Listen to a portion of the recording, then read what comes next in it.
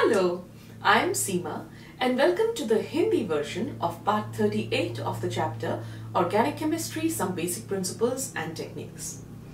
अब इस वीडियो में हम बात करेंगे qualitative analysis of organic compounds की लेकिन इससे पहले कि मैं आज के टॉपिक पे आऊँ हम लैब में चलते हैं लैब में अगर आपको एक सॉल्ट दिया जाता है और आपको कहा जाता है कि भाई आइडेंटिफाई करो कि ये सॉल्ट कौन सा है? तो आप क्या करते हो? आपको पता है कि सॉल्ट जो होता है, वो एक आयनिक कंपाउंड होता है। और क्योंकि वो आयोनिक कंपाउंड होता है तो उसका, उसमें एक कैटायन होगा और एक एनायन होगा। तो आपके पास एक सीक्वेंस होती है टेस्ट्स की, जिसके हिसाब से आप ऑर्गेनिक मतलब जो जो सॉल्ट है, उसका कैटायन और एनायन को आइडेंटिफाई कर लेते हो। उस सीक्वेंस को अगर आप फॉलो करते हो, आपको पता चल जाता है। और सॉल्ट के जो टेस्ट होते हैं, वो क्विक होते हैं। तो आपको वो दो पीरियड्स के बीच में आपको बहुत आसानी से आप सॉल्ट को आइडेंटिफाई कर लेते हो। कई बार आपको मिक्सचर ऑफ़ सॉल्ट्स दिया जाता है और आप उसमें, उस मिक्सचर में टू केटाइंस टू एनाइंस भी आइडेंटिफाई कर लेते हैं। अब आप इमेजिन करो कि बिल्कुल ऐसे ही आपको एक पाउडर दे दिया जाए ऑर्गेनिक कंपाउंड का और कहा जाए कि भाई आइडेंटिफाई करो अब इसे। तो ऑर्गेनिक कंपाउंड को आइडेंटिफाई करना काफ़ी मुश्किल होता है। उसका रीजन ये है कि पहली बात कि ऑर्गेनिक कंपाउंड जो है, वो थाउजेंड्स हैं।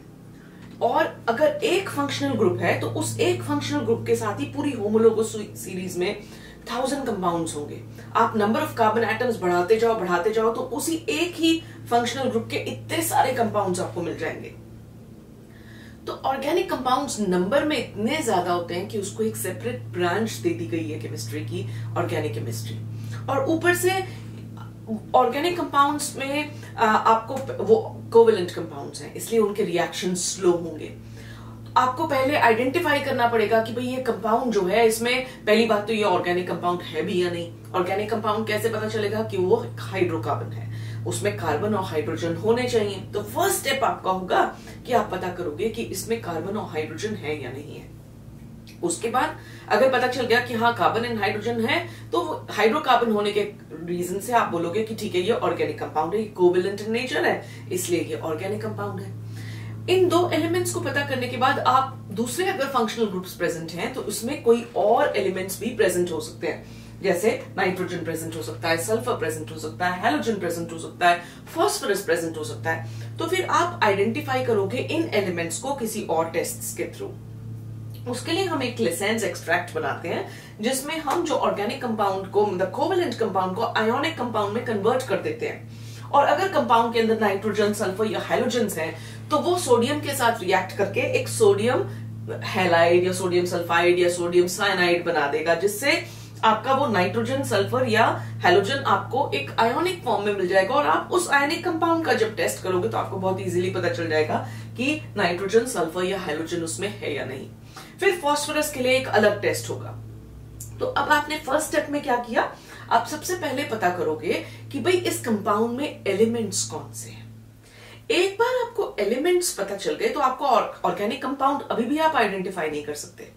आपको ये मालूम चल गया कि ठीक है, ये ये एलिमेंट्स है। सेकेंड स्टेप है जो आपको एलिमेंट्स तो पता चल गए, लेकिन इस कंपाउंड में अगर हमने एक सैंपल लिया, इस सैंपल में अगर कार्बन इतना था और हाइड्रोजन इतना था नाइट्रोजन कितना था सल्फ़र कितना, उसकी आप परसेंटेज कॉम्पोजिशन निकाल लेते कि अगर 100 ग्राम्स था 100 ग्राम्स में से इतने ग्राम कार्बन था, इतने ग्राम हाइड्रोजन था, इतने ग्राम ये एलिमेंट था, इतने ग्राम वो एलिमेंट था, आप उसकी परसेंटेज कॉम्पोजिशन अब, जब हम कहते हैं क्वालिटेटिव एनालिसिस क्वालिटी में हम क्या पता करते हैं? कि भाई वो चीज़ क्या है?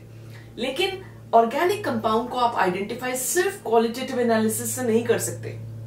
क्वालिटेटिवली तो हमें पता चल गया कि ठीक है, इसमें कार्बन है हाइड्रोजन है, ये ये एलिमेंट्स हैं। लेकिन ऑर्गेनिक कंपाउंड कौन सा है, उसके लिए हमें क्वांटिटेटिव एनालिसिस भी करना पड़ेगा।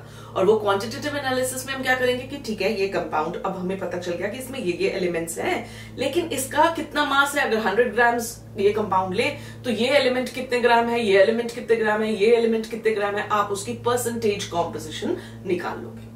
परसेंटेज कॉम्पोजिशन निकालने के बाद भी अब देखो, अगर ऑक्सीजन है और हाइड्रोजन है हाइड्रोजन तो वैसे भी होता है हाइड्रोकार्बन में, और अगर ऑक्सीजन है तो कितने सारे फंक्शनल ग्रुप्स में ऑक्सीजन प्रेजेंट हो सकता है, और अलग अलग बॉन्डिंग में प्रेजेंट हो सकता है कार्बोक्सिलिक एसिड में हो सकता है एस्टर में हो सकता है ईथर में हो सकता है तो एल्कोहल्स में हो सकता है। तो आपको पता कैसे चलेगा कि कंपाउंड कौन सा है? तो फिर आप क्या करोगे? फंक्शनल ग्रुप का टेस्ट करोगे। जब आप फंक्शनल ग्रुप का टेस्ट करोगे तो आपको अंदाज़ा हो जाएगा कि ठीक है, ये ये कंपाउंड एल्कोहल है या जो भी है। अब उसके बाद एक और प्रॉब्लम आती है कि फंक्शनल ग्रुप भी अगर आपको पता चल गया, हो सकता है कंपाउंड में मल्टीपल फंक्शनल ग्रुप्स प्रेजेंट हो। हो सकता है एक ही functional group multiple times present हो। इसलिए ऑर्गेनिक कंपाउंड का आइडेंटिफिकेशन जो है वो स्कूल लेवल पे बहुत मुश्किल है। आप कर ही नहीं सकते हो। ये पीएचडी लेवल के जो स्टूडेंट्स होते हैं, वो इस टाइप का एक्चुअल एनालिसिस करेंगे कि वो कंपाउंड तक पहुँचेंगे। लेकिन आपके लेवल पे हम उसे बहुत बेसिक जो स्टेप्स हैं वो आपको समझा देते हैं लेकिन इसे आप करते नहीं है। आप फंक्शनल ग्रुप आइडेंटिफाई कर लेंगे मतलब पार्ट्स ऑफ़ द प्रॉब्लम आप करेंगे आ, लेकिन पूरा you will not go through the whole thing कि पूरा कंपाउंड पाउडर को आप बता सको कि ये कौन सा कंपाउंड है एग्जैक्टली होमोलेग सीरीज़ में ये कहाँ पड़ता है वहाँ तक आप नहीं जाएँगे। तो अब अगला स्टेप देखें कि अब आपको ये भी पता चला चल गया कि फंक्शनल ग्रुप कौन सा है और कौन कौन से एलिमेंट्स हैं। तो अब आप जो है अगर फंक्शनल ग्रुप और परसेंटेज कॉम्पोजिशन पता चल गई। जब परसेंटेज कॉम्पोजिशन पता चल गई उसका वो पता चल गया आ, क्या कहते हैं फंक्शनल ग्रुप पता चल गया तो आप अपने एस्टिमेशन अपनी इंटेलिजेंस से उसका एक एम्पायरिकल फॉर्मूला डिड्यूस करने की कोशिश करोगे। कि ठीक है, अगर ओ OH ग्रुप है या ये नाइट्रोजन है अमीन है NH2 ग्रुप है, वो लगा दिया और फिर परसेंटेज कॉम्पोजिशन के हिसाब से अब कितना कार्बन है, कितना वो है, उससे आप उसको कैलकुलेट करके एक एम्पायरिकल फॉर्मूला फॉर्मुलेट कर लोगे। अब अगर आपने एम्पायरिकल फॉर्मूला भी फॉर्मुलेट कर लिया तो उसके बाद मास स्पेक्ट्रोमीट्री या किसी ऐसे टेक्निक से आप उस कंपाउंड का मॉलिकुलर मास डिटरमिन करोगे। जब आपको मॉलिकुलर मास पता चल जाएगा और आपका एम्पायरिकल फॉर्मूला जो है, उसको, अगर वो उसका एक मल्टीपल है तो तो आपने कंपाउंड जो है आपने करेक्ट डिटर्मिन कर लिया। एम्पायरिकल फॉर्मूला जो है, उससे मॉलिकुलर मास को एम्पायरिकल फॉर्मूला जो भी आपने बनाया, उसका एम्पायरिकल फॉर्मूला मास कैलकुलेट कर लोगे। मॉलिकुलर मास को एम्पायरिकल फॉर्मूला मास से डिवाइड करोगे और आपको वो नंबर पता चल जाएगा, जिससे आप एम्पायरिकल फॉर्मूला को मल्टीप्लाई करोगे तो आपको कंपाउंड पता चल जाएगा। तो नाउ यू सी कि कैसे ये थोड़ा सा ट्रिकी वे है। इट इज़ प्रिटी कॉम्प्लिकेटेड कि आप कंपाउंड तक कैसे पहुँचते हैं। लेकिन ऑन द होल ये स्टेप्स होंगे अगर आपको एक पाउडर दे दिया जाए। पहले आप डिटर्मिन करोगे कि वो ऑर्गेनिक कंपाउंड है या नहीं है और फिर ये सारे स्टेप्स करते हुए आपको पता चलेगा कि वो कंपाउंड कौन सा है। इसको हम ऑर्गेनिक एनालिसिस कहते हैं। ठीक है? तो अब हम यहाँ पे इस वीडियो में हम क्वालिटेटिव एनालिसिस मतलब इन एलिमेंट्स को कैसे डिटर्मिन करते हैं, उसका भी बिगिनिंग करेंगे। तो फ़र्स्ट स्टेप क्या होता है आपको? जब आपको एक ऑर्गेनिक कंपाउंड दिया जाएगा, आप उसकी क्वालिटेटिव एनालिसिस मतलब पता करोगे कि ये ऑर्गेनिक कंपाउंड है या नहीं। कैसे पता चलेगा कि इसमें कार्बन है और हाइड्रोजन है या नहीं? हाइड्रोकार्बन है भी या नहीं? तो first step is to detect the detection of carbon and hydrogen carbon और हाइड्रोजन के प्रेजेंस को डिटेक्ट करने के लिए आप क्या करोगे? आपको वो जो कंपाउंड दिया, उसको आप कॉपर ऑक्साइड के साथ हीट अप करोगे। जब आप उसे कॉपर ऑक्साइड के साथ हीट अप मीन्स उसे एक्चुअली बर्न करोगे काइंड ऑफ़ तो जब उसे आप जला दोगे कॉपर ऑक्साइड के साथ तो जो कार्बन है हाइड्रोजन जो एलिमेंट्स हैं, वो अलग अलग कॉपर ऑक्साइड के साथ रिएक्ट करेंगे। अगर कार्बन कंपाउंड में से जो कार्बन है, वो कॉपर ऑक्साइड से रिएक्ट करके क्या बनाएगा? कॉपर तो रह जाएगा, लेकिन ऑक्सीजन के साथ वो उसका ऑक्साइड बना देगा। कार्बन का कौन सा ऑक्साइड बनेगा? कार्बन डाइऑक्साइड सिमिलरली हाइड्रोजन जो कंपाउंड में प्रेजेंट है हाइड्रोकार्बन में, वो हाइड्रोजन कॉपर ऑक्साइड से रिएक्ट करके क्या करेगा? फिर से कॉपर जो है, वो सेपरेट आउट हो जाएगा रिड्यूस कॉपर ऑक्साइड रिड्यूस होके कॉपर दे देगा, लेकिन जो ऑक्सीजन है हाइड्रोजन उसके साथ ऑक्सीडाइज होके आपको वाटर दे देगा। तो आपको, जब आपने उसको कॉपर ऑक्साइड के साथ फ्यूज किया तो आपको कौन से कंपाउंड्स मिले? अगर कार्बन एंड हाइड्रोजन प्रेजेंट है तो आपको कार्बन डाइऑक्साइड मिलेगा और वाटर मिलेगा। अब, आपको ये कैसे पता चलेगा कि ये कार्बन डाइऑक्साइड है और ये वाटर है? आपको उनको भी तो टेस्ट करना पड़ेगा, उनको भी तो आइडेंटिफाई करना पड़ेगा। उसके लिए आपको क्या करना होगा? आपको इनको सेपरेट करना पड़ेगा। वाटर और कार्बन डाइऑक्साइड जो प्रोड्यूस हुआ, इनको आप सेपरेट करोगे। उसका भी मेथड होता है कि आप उन दोनों को कैसे सेपरेट कर लोगे। जब आप सेपरेट कर लोगे, तब आप कार्बन डाइऑक्साइड को आइडेंटिफाई करने का कार्बन डाइऑक्साइड गैस को आप कैसे आइडेंटिफाई करते हो? आप उसको लाइम वाटर के थ्रू पास करते हो। अगर आप लाइम वाटर के थ्रू कार्बन डाइऑक्साइड को पास करो तो लाइम वाटर जो है, वो उसका कलर व्हाइट हो जाता है, वो मिल्की हो जाता है। तो if lime water turns milky आपको एक व्हाइट प्रेसिपिटेट मिलेगा, जिसके कारण जो उसका लाइम वाटर का टेस्ट ट्यूब है, वो क्लाउडी दिखने लग जाएगा। मिल्की जैसे मिल्क मिक्स किया हो। तो अगर वो मिल्की हो गया तो मतलब कार्बन डाइऑक्साइड था। अगर कार्बन डाइऑक्साइड था तो उसका मतलब है कि उस कंपाउंड में कार्बन है। है ना? और वैसे ही अगर आप वाटर जो मॉलिक्यूल है, अगर कॉपर सल्फेट जो होता है, एक जो हाइड्रेटेड फॉर्म में एक ब्लू कंपाउंड होता है। लेकिन अगर उसका वाटर ऑफ़ क्रिस्टलाइजेशन उसमें five molecules of water of crystallization होते। अगर आप कॉपर सल्फेट पेंटाहाइड्रेट मतलब जो ब्लू कलर का होता है, उसे हीट अप कर दें और उसके वाटर को इवेपोरेट होने दें वाटर ऑफ़ क्रिस्टलाइजेशन को तो आपको एनहाइड्रस कॉपर सल्फेट मिलता है। एनहाइड्रस कॉपर सल्फेट जो होता है, वो व्हाइट इन कलर होता है। जैसे जैसे इसके वाटर मॉलिक्यूल्स इस मॉलिक्यूल्स इसके, इसमें से निकल जाते हैं तो ये जो ब्लू कलर होता है, ये वैनिश करके व्हाइट कलर दे देता है। तो अब आप क्या करते हो कि ये वाटर जो आपको मिला, आप उसको एनहाइड्रस कॉपर सल्फेट में, के साथ मिक्स करते हो। जब आप मिक्स करते हो तो कॉपर सल्फेट जो एनहाइड्रस था, उसको वापस अपने five molecules of water of crystallization मिल जाते हैं, जिससे उसका कलर ब्लू टर्न कर जाता है। तो ये प्रूफ होता है कि हाँ इस कंपाउंड में वाटर था। अगर वाटर था, जिसने copper sulphate anhydrous copper sulphate को ब्लू कर दिया तो इसका मतलब वाटर बना वाटर बना कैसे कॉपर ऑक्साइड के साथ? इसका मतलब उस कंपाउंड में हाइड्रोजन भी होगा, तभी तो वाटर बना। तो देखो कितने टेढ़े तरीके से हमें उस एलिमेंट तक पहुँचना पड़ता है कि वो एलिमेंट इसमें है भी या नहीं। तो इसका एपरेटस देख लो एक बार। ये जो होती है कंबस्टन ट्यूब होती है। कंबस्टन ट्यूब में एक प्लैटिनम की बोट मतलब जैसे बोट हो एक डिश छोटी सी बोट की फॉर्म में शेप में उसमें हम आप, अपना ऑर्गेनिक कंपाउंड का सैंपल डालते हैं थोड़ा सा। और फिर उसको हीट करते हैं। और एक ट्यूब से हम इसमें pure oxygen dry oxygen dry क्यों? क्योंकि अगर ये मॉइस्ट ऑक्सीजन होगी तो हाइड्रोजन वाला जो रिएक्शन है वाटर मॉलिक्यूल वैसे भी बन जाएगा, क्योंकि वो मॉइस्चर ही आपको टेस्ट में दिखने लग जाएगा और हमें वो नहीं चाहिए। हमने तो ये देखना है कि कंपाउंड में से वाटर निकलता है या नहीं निकलता। इसलिए हमें प्योर ड्राई ऑक्सीजन इसमें डालेंगे। जैसे ही हम प्योर ड्राई ऑक्सीजन इसमें डालेंगे, ये कंपाउंड सैंपल जो है, ये कॉपर ऑक्साइड के साथ इसमें कॉपर ऑक्साइड के थ्रू उसे पास कर रहे हैं। ये जो इसके जो कंपाउंड है, इसके वेपर्स बनने लग जाएँगे और वो पास करेगा कॉपर ऑक्साइड के थ्रू और जब वो कॉपर ऑक्साइड के थ्रू पास करेगा तो वो उसके साथ रिएक्ट करेगा और क्या बनाएगा? उसका रिडक्शन हो जाएगा कॉपर ऑक्साइड का, आपको कार्बन डाइऑक्साइड मिलेगा और वाटर मिलेगा। और वो इस ट्यूब में से निकल के अब हम उस दो यू के से उस गैस को जो निकल रही है, जो प्रोडक्ट्स बन रहे हैं, उसको दो यू के थ्रू पास करते हैं। पहली यू ट्यूब कौन सी होती है? जिसमें हम एनहाइड्रस कैल्शियम क्लोराइड डाल देते हैं। ठीक है? एनहाइड्रस कैल्शियम क्लोराइड जो होती है, ये जो वाटर मॉलिक्यूल्स होते हैं, क्योंकि ये एनहाइड्रस है, फिर एनहाइड्रस मतलब डिहाइड्रेटेड जिसमें से पानी निकला हुआ है। तो ये क्या करेगी? ये पानी को एब्जॉर्ब कर लेगी। तो एनहाइड्रस कैल्शियम क्लोराइड से जब हम इसे पास करते हैं तो जो वाटर वेपर कार्बन डाइऑक्साइड दो गैसेस बनी तो जो वाटर बना, वो यहीं पे एब्जॉर्ब हो जाएगा एनहाइड्रस कैल्शियम क्लोराइड पे और कार्बन डाइऑक्साइड जो है, वो अगली, उसको हम, वो इसमें एब्जॉर्ब नहीं होगी, वो निकलती जाएगी और उसको हम, वो गैस निकलती हुई अगली ट्यूब तक पहुंचेगी और अगली यू में हमने क्या डाल के रखा है? Potassium hydroxide solution potassium hydroxide solution में कार्बन डाइऑक्साइड डिजोल्व हो जाती है। तो इस स्टेज में सेकेंड स्टेप में क्या होगा कि कार्बन डाइऑक्साइड इसमें डिजोल्व हो जाएगी। हमने ये दो यूट्यूब्स क्यों ली? क्योंकि हमारा इंटेंशन क्या था कि दोनों कार्बन डाइऑक्साइड और वाटर को हम सेपरेट कर दें। क्योंकि अब इन दोनों के हमने अलग अलग टेस्ट करने हैं। तो हमने एनहाइड्रस कैल्सियम क्लोराइड के साथ वाटर सेपरेट कर लिया और पोटेशियम हाइड्रोक्साइड में कार्बन डाइऑक्साइड डिजोल्व हो गई, उसको भी सेपरेट कर लिया। अब इन दोनों में से हम कार्बन डाइऑक्साइड और वाटर मॉलिक्यूल्स को एक्सट्रैक्ट करेंगे। हमने एक मिक्सचर बना लिए हैं दोनों ये। तो फिर पहले हम इनमें से वो दोनों कंपाउंड्स को निकालेंगे और फिर उन कंपाउंड्स का रिएक्शन किससे करेंगे?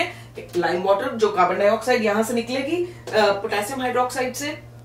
उसको हम पास करेंगे लाइम वाटर की टेस्ट ट्यूब में और लाइम वाटर की टेस्ट ट्यूब जो है वो व्हाइट प्रेसिपिटेट दे देगी या क्लाउडी हो जाएगी तो हम समझ जाएँगे, या मिल्की हो जाएगी तो हम समझ जाएँगे कि कार्बन डाइऑक्साइड प्रोड्यूस हुआ था। और अगर इस टेस्ट ट्यूब में वाटर मॉइस्चर है तो उसको हम हीट करेंगे तो वही मॉइस्चर फिर से क्रिएट होगा, उसको हम एक्सट्रैक्ट कर लेंगे, एक ट्यूब में ले लेंगे और उसको पास करेंगे copper sulphate anhydrous copper sulphate में से। में। और एनहाइड्रोस कॉपर सल्फेट का कलर ब्लू हो जाएगा, जिससे हमें कंफर्म हो जाएगा कि इस कंपाउंड में कार्बन और हाइड्रोजन थे। जब हमें पता चल गया कि कंपाउंड में कार्बन एंड हाइड्रोजन एलिमेंट्स थे तो पहली बात तो कंफर्म हो गई कि हाँ ये ऑर्गेनिक कंपाउंड है। Right right? कि ये, क्योंकि इसमें ये एक हाइड्रोकार्बन है। उसके बाद जो नेक्स्ट स्टेप होता है कि अगर इसमें कुछ और फंक्शनल ग्रुप्स प्रेजेंट है तो इसमें कुछ और एलिमेंट्स भी तो प्रेजेंट हो सकते हैं। तो उसके लिए आइडेंटिफाई करने के लिए detection of other elements like nitrogen sulphur halogen and phosphorus ये आपके सिलेबस में दिए हैं। नाइट्रोजन सल्फ़र और हेलोजन को आइडेंटिफाई करने के लिए इनको कन्वर्ट कर दिया जाता है आयोनिक फॉर्म में। ये कोवेलेंट कंपाउंड है ऑर्गेनिक कंपाउंड है तो वो कोवेलेंट है। इन एलिमेंट्स को कोवेलेंट बॉन्ड से हटा के इनको आयोनिक बॉन्ड में कन्वर्ट क्यों करते हैं? ताकि जो कोवेलेंट रिएक्शन है बहुत स्लो होंगे और बहुत क्लियर नहीं होंगे, लेकिन आयोनिक रिएक्शन क्विक होते हैं और बहुत क्लियर होते हैं। तो हम क्या करते हैं? सबसे ज़्यादा रिएक्टिव मेटल जो होता है पोटेशियम उसके बाद सोडियम सोडियम को लेते हैं। सोडियम इज़ हाईली रिएक्टिव तो sodium being so electropositive in nature in elements जो इलेक्ट्रोनेगेटिव है nitrogen sulphur halogen are electronegative elements इनके साथ इनके आयोनिक कंपाउंड बनाते हैं। कैसे? सोडियम को हम फ्यूज कर देते हैं उसके साथ। एक इतनी छोटी सी टेस्ट ट्यूब होती है, जिसको फ्यूजन ट्यूब बोला जाता है। बिल्कुल छोटी इट्स रियली स्मॉल एक्चुअली इतनी होती है। मे बी आपने लैब में देखी होगी। तो आप उस फ्यूजन ट्यूब में थोड़ा सा सॉल्ट डालते हैं और एक छोटा सा टुकड़ा जो है, वो अपने सोडियम सोडियम का डालते हैं सोडियम मेटल का। और अब इसे एक फ्लेम पे आप उसको हीट करने लगते हैं। जब आप हीट करते हैं तो सोडियम एकदम फ्लेम्स कैच कर लेता है। उसको आग लग जाती है बहुत जल्दी। और वो जो कंपाउंड है, वो उसके साथ रिएक्ट करके, वो उसके साथ फ्यूज हो जाता है। और फिर डिस्टिल्ड वाटर का, ठंडे पानी का डिस्टिल्ड वाटर का एक हम बीकर रखते हैं। जैसे ये फ्यूजन ट्यूब में कंपाउंड और सोडियम एक साथ जल के रिएक्ट कर रहे होते हैं तो हम, और रेड हॉट हो जाता है, तब हम उसे क्या करते हैं, हम उसे इमीडिएटली ठंडे पानी में प्लंज कर देते हैं। प्लंज मतलब एकदम उसके अंदर डाल देते हैं। जैसे ही डालोगे, क्योंकि इतनी गर्म ट्यूब थी, और बिल्कुल पतले थिन ग्लास की छोटी सी ट्यूब होती है, और वो रेड हॉट होती है तो जैसे ही आप पानी में डालते हो, वो ग्लास फट जाता है। जैसे ग्लास फटता है, उसके साथ ही वो सोडियम के साथ जो भी कंपाउंड्स बने, वो पानी में आ जाते हैं। जब वो पानी में आके थोड़ी देर आप उसे डिसॉल्व करते हो तो आपका वो आयोनिक कंपाउंड का सोल्यूशन बन जाता है। अगर नाइट्रोजन था तो साइनाइड के फॉर्म में, अगर सल्फ़र था तो सल्फाइड सोडियम सल्फाइड के फॉर्म में, अगर हेलाइड है, जैसे क्लोरीन ब्रोमीन आयोडीन तो उसके sodium halide that is sodium chloride sodium bromide या सोडियम आयोडाइड के फॉर्म में, वो कंपाउंड पानी में डिसॉल्व हो जाता है। अब आप उसे फ़िल्टर आउट करते हो। फ़िल्टर करके उसको फिर से बॉईल करते हो बिल्कुल क्लियर करने के लिए। और फिर इस एक्सट्रैक्ट को sodium extract sodium fusion extract या लेसेंस एक्सट्रैक्ट एक साइंटिस्ट था जिसने ये बनाया था लेसेन उसके नाम से हम उसे बुलाते हैं कि लेसेंस एक्सट्रैक्ट और फिर जो टेस्ट होते हैं इन एलिमेंट्स को, उसको लेसेंस टेस्ट बोला जाता है। ये टेस्ट हम बाद में करेंगे। अभी इस वीडियो में हम सिर्फ़ ये देखेंगे कि ये लेसेंस एक्सट्रैक्ट प्रिपेयर कैसे किया जाता है। तो जो एलिमेंट्स प्रेजेंट है कोवलेंट फॉर्म में इन द कंपाउंड जो यही elements nitrogen sulphur and hydrogen इनको आयोनिक फॉर्म में कन्वर्ट किया जाता है by fusing it with sodium metal उसको सोडियम मेटल के साथ फ्यूज कर दिया जाता है to form the sodium fusion extract sodium fusion extract या लेसेंस एक्सट्रैक्ट क्रिएट कर दिया जाता है. अगर कंपाउंड में नाइट्रोजन प्रेजेंट है, क्योंकि ये ऑर्गेनिक कंपाउंड है तो कार्बन तो प्रेजेंट होगा ही. तो इसलिए कार्बन और नाइट्रोजन मिलके साइनाइड बना देंगे। तो आपको जो कंपाउंड मिलेगा, वो आयनिक कंपाउंड मिलेगा, वो होगा सोडियम साइनाइड अगर उसमें सल्फ़र प्रेजेंट है तो वो सोडियम के साथ रिएक्ट करके सोडियम सल्फाइड बनाता है। और अगर हेलोजन प्रेजेंट है तो वो सोडियम हेलाइड बना देगा। और ये साइनाइड सल्फाइड और हेलाइड ऑफ़ सोडियम जो बनेंगे, वो उनको फ्यूजन से जो बनते हैं, इनको एक्सट्रैक्ट किया जाता है फ्यूज मास से by boiling it with distil water मैंने आपको बताया, पहले प्लंज करो ठंडे डिस्टिल वाटर में, फिर उस वाटर को बॉइल करके, वो पूरा कंपाउंड जो उसमें अच्छे से डिसॉल्व हो जाएगा, उसे फ़िल्टर आप करेंगे, ताकि ग्लास पार्टिकल्स बीच में ना रहे। और इसको फिर आप यूज़ करते हो to test the presence of nitrogen sulphur and halogen और ये जो है टेस्ट है, ये हम अगले वीडियो में करेंगे। तो इसी के साथ मैं आज की वीडियो वाइंड अप करती हूँ। अगर आपको ये यूजफुल लगी तो प्लीज़ इसे थम्स अप दीजिए सब्सक्राइब कीजिए मेरे चैनल को रेकमेंड कीजिए अपने फ्रेंड्स को, और बार बार आते रहिए मेरे साथ केमिस्ट्री पढ़ने के लिए। Thank you for watching and bye for now